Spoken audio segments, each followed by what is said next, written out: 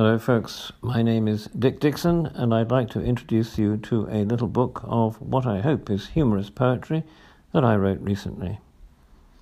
It is called The Curse of the Square Crow, and each one of the 33 poems has an illustration in full colour made by my very good friend Reine Mazoyer, who is French.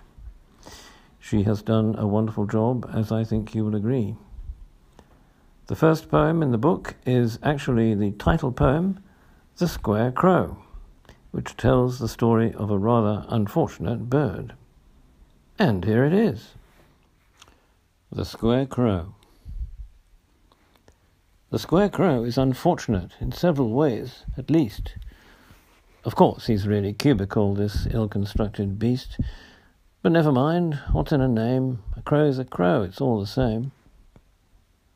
The squarecrow's in a grimmish mood at every time of day.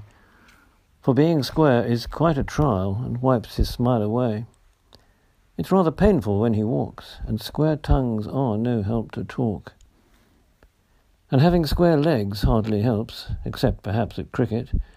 But square crows do not care for it, just standing near the wicket, as crippling as it is to run, though normal crows no doubt have fun. And can the square crow fly, you ask? The answer's not quite clear. It all depends what's meant by flight, but luckily he has no fear. Those square wings make it rather hard to fly much more than just a yard. Which is a pity, don't you think? And would be compensation for inability to run or walk to Hampstead Station. If it's a London crow, of course. A country crow could ride a horse. Before the city crow, you see, there's another way to go. Taxis, vans, and cars provide roofs for perching long and low.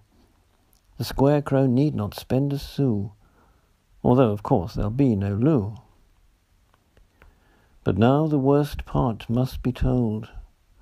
The square crow lives in horror that one day he, or really she, must square up to the mirror and search the square crow's soul for courage, at least as much as she can manage. It's destiny that shapes crows' ends, and square crows are likewise.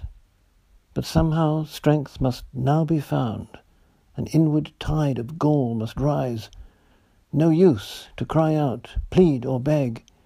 She's got to lay her first square egg.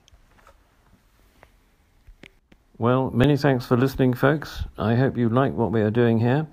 And if so, do look out for more poems from the book and also from other books we've made. By the way, we shall be uploading a new video soon, which we hope you'll also enjoy. Please subscribe to the page to make sure you don't miss it once the video is released, and of course for all our future videos too. For further details of the books we've made, don't forget to visit my website and please see the comments for the link. Thanks again for watching and toodaloo until we meet again.